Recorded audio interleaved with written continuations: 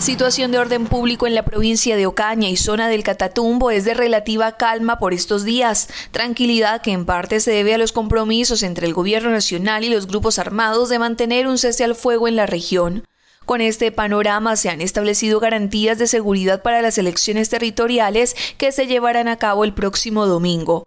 Gracias a la labor constante de las autoridades y la cooperación de la comunidad, la región ha mantenido un ambiente de paz y tranquilidad en los días previos a los comicios. La fuerza pública ha trabajado para prevenir y controlar situaciones que puedan poner en riesgo la seguridad ciudadana. Es claro y es evidente que se ha sentido el cambio, las actividades se desarrollan, el comercio se desarrolla normalmente y de igual forma nosotros eh, continuamos garantizando de la mano y en, trabajo mancomunado con nuestro Ejército Nacional eh, todos los ejercicios y las libertades en cada uno de los municipios del Catatumbo, eh, tanto en el área rural como en los cascos urbanos.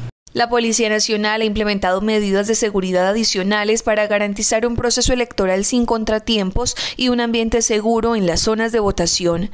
Se han fortalecido los patrullajes, los puestos de control y la presencia policial en áreas estratégicas para prevenir cualquier eventualidad.